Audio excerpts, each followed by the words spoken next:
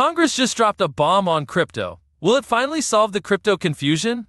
Congressman John Rose has introduced the Bridge Digital Assets Act, aiming to unify U.S. digital asset regulations.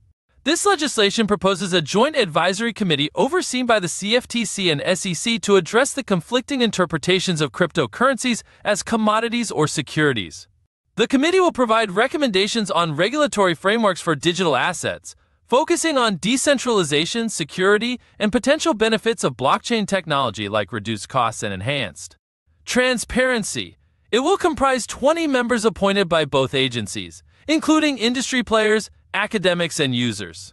The bill mandates regular meetings, public responses to recommendations, and a clear timeline for implementation, aiming to foster collaboration and create a clear regulatory environment for digital assets within the U.S.